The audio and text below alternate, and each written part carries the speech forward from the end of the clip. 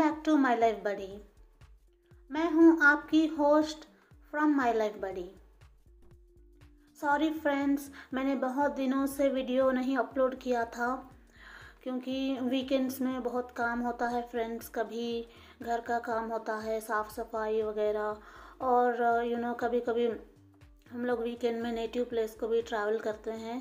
So sorry friends लगता है मुझे कि आप लोगों ने बहुत इंतज़ार किया होगा हमारे वीडियोस का। तो चलिए देखते हैं आज का वीडियो।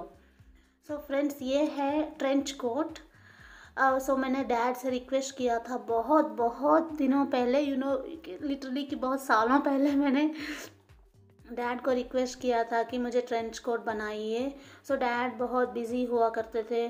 सो so, मैं और मैं क्या है कि ओनली विंटर्स में याद किया करती थी जब मुझे ठंड लगती थी। तो तभी मैं याद किया करती थी कि मुझे ट्रेंच कोट चाहिए। और डैड बिज़ी होते थे फिर वो सिलाई नहीं करते थे। ठीक है जल्दी जल्दी विंटर चला जाता था फिर समर आ जाता था तो ज़रूरत नहीं पड़ती थी। सो so, ऐसे करते हुए कुछ साल यू नो बीत गए। अभी जो है डैड थोड़ा फ्री हैं डैड को थोड़ा सा नो फ्रैक्चर हुआ था तो अभी डैड फ्री हैं और वो अपसेट भी थे फ्रैक्चर की वजह से तो मैंने डैड को यू नो मोटिवेट किया कि आ, मुझे ट्रेंच कोट सिए आप आप बहुत दिन से पेंडिंग रखे हों। अभी जैसे आपका फ्रैक्चर ठीक हो गया है जल्द से जल्द मुझे ट्रेंच कोट सीजिए बना दीजिए। तो डैड ने क्या किया कि डैड भी यू नो मोटिवेटेड थे और उनके पास टाइम भी था। तो ये बन रहा है। फ्रेंड्स ये देख सकते हो आप कि ये फाइव थ्रेड ओवरलॉक है स्लीव्स के लिए ताकि तागे ना निकले। और ये है हमारी जुकी मशीन सीविंग मशीन ये जुकी इसलिए यू नो फ़ेमस है क्योंकि ये पावर पे चलती है और जल्दी जल्दी सिलाई करती है। As oppose to the manual sewing machine जहाँ पे हमें पेडल मारना पड़ता है पैरों से सो। So, वो थोड़ा स्लो होती है बट मुझे ये चलाने नहीं आती फ्रेंड्स जो कि machine I am bad at it और माम ने भी मुझे यू you नो know, जब अभी सीखने उतना प्रेफरेंस नहीं दिया क्योंकि यू नो मॉम डरती हैं कि कहीं मैं हाथ पर या उंगलियों पर ना चला दूँ क्योंकि उस पर अच्छा बैलेंस और एक्सपीरियंस होना चाहिए।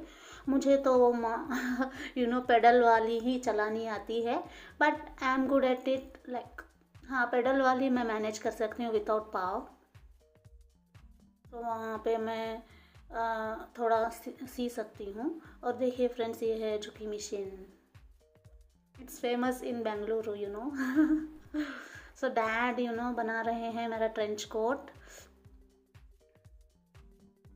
सो so, मैंने ये बिस्किट कलर या क्रीम कलर का फैब्रिक चूज़ किया है जो यू you नो know, बहुत फ़ेमस है ट्रेंच कोट्स के लिए।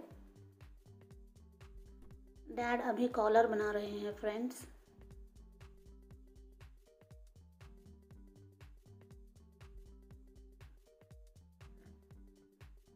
और डैड बहुत अच्छे एक्सपीरियंसड हैं इस टेलरिंग में और डिज़ाइनिंग में कपड़ों की designing you know pattern making and cutting and sewing internet से जो भी हम डिज़ाइन बता दें, वो वैसे बना कर देते हैं। और कॉलेज डेज़ और स्कूल डेज़ में तो आ, हमारे लिए बहुत सारे वेस्ट कोट्स और jeans you know jeans with good designs unique designs बनाया करते थे। मेरे कॉलेज में तो मैं डैड के बनाए हुए और मॉम के बनाए हुए ही कपड़े पहना करती थी।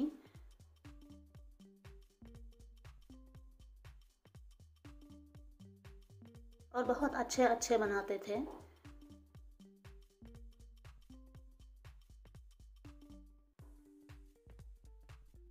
पैर को थोड़ी दिक्कत हुई है हाथ की वजह से but it's manageable and after fracture this is the first one he is designing and preparing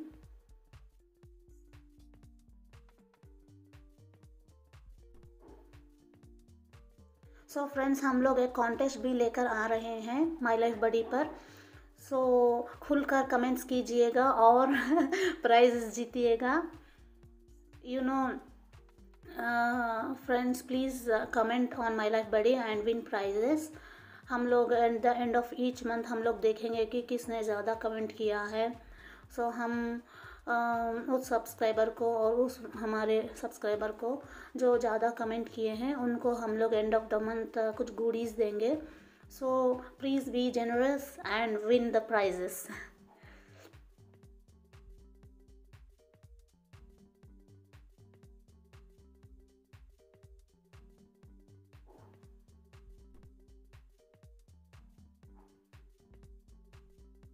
ये डैड कॉलर बना रहे हैं फ्रेंड्स ऑलरेडी स्लीव्स बनाकर, जैसे मैंने पिक्चर बताया था, जो स्लीव्स बने हैं, वो ऑलरेडी साइड में रखे हुए हैं।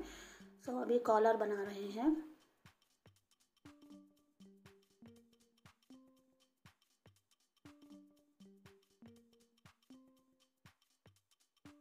मैंने एक्चुअली एक ऑनलाइन वेबसाइट पे एक छोटा सा लाइक डिज़ाइन ऐसा था ट्रेंच कोट के जैसा, लेकिन एग्जैक्ट ट्रेंच कोट नहीं था।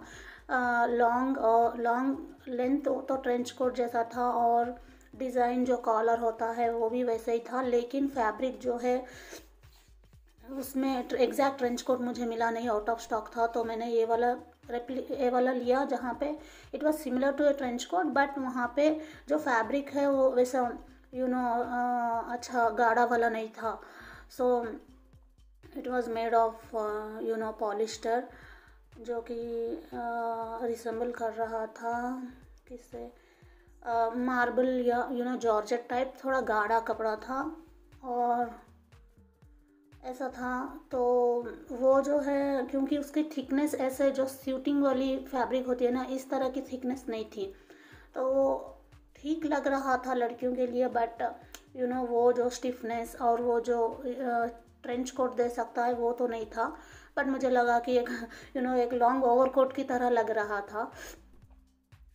यहाँ पे जो डैड ने फैब्रिक लिया है ये स्यूटिंग फैब्रिक है फ्रेंड्स इससे जो है जो ट्राउज़र्स बनाते हैं ना उस तरह का जो गाढ़ा फैब्रिक होता है आ, उस तरह का फैब्रिक में बना रहे हैं। तो इससे क्या है कि हमारा ट्रेंच कोट अच्छे से कड़क यू नो ऐसे ठहरेगा जैसे उसको स्टैंड करना चाहिए।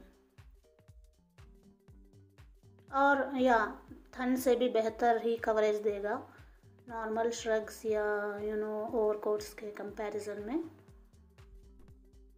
I was so excited friends actually मैंने डैड को पाँच साल पहले बताया था, ठीक है, कि ट्रेंच कोट बनाइए, चार साल पहले।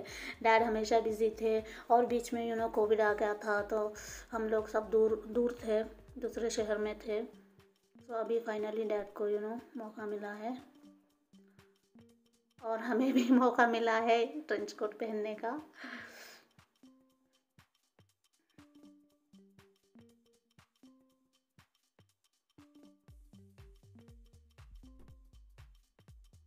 सो फ्रेंड्स ऑलमोस्ट कॉलर बन गया है। इस तरह से डैड ने क्रॉस सिलाई डाली थी।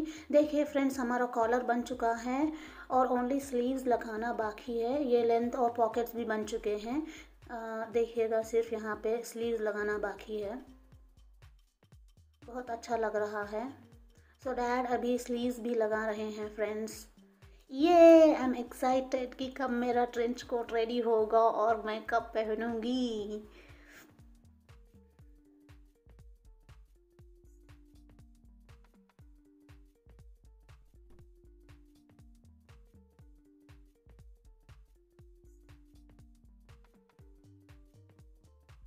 सो so, स्लीव्स को इस तरह से जिस तरह से डैड ने कट किया ना सीजर से इस तरह से छोटा सा कट करते हैं ताकि स्लीव सेंटर में बैठ सकें।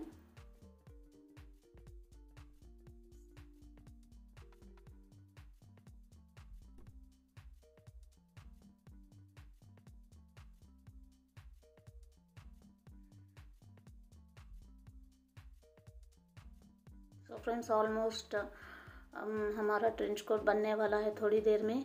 तो प्लीज़ हमारे कॉन्टेस्ट को याद रखिएगा। जनरसली कमेंट कीजिएगा हमारे वीडियोस पे और प्राइजेस विन कीजिए। गुडीज़ विन कीजिए friends from my life buddy please support my life buddy and comment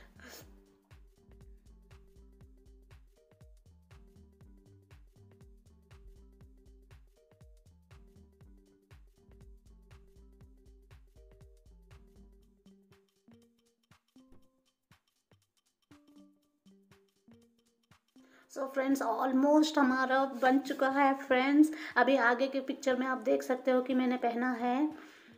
देखिए फ्रेंड्स इस तरह से हमारा ट्रेंच कोट रेडी हो गया है. प्लीज़ कमेंट कीजिए कैसे लग रहा है. अमेजिंग ना? Thank God